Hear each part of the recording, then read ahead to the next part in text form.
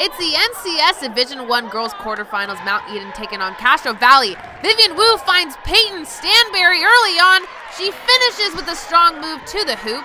Mount Eden was moving the ball nicely.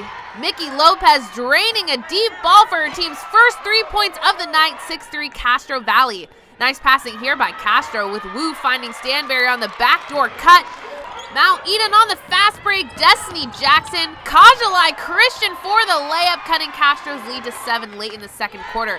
Mount Eden's offense flowing through Mikey Lopez, especially here in the third. She finds Destiny Jackson for the contested three, but Castro Valley's Bailey Jones couldn't miss tonight, and she hits one of her five three-pointers to increase their lead late in the third. Nice passing here again by Castro with Wu catching a pass in the air and finding Stanberry down low for the easy bucket.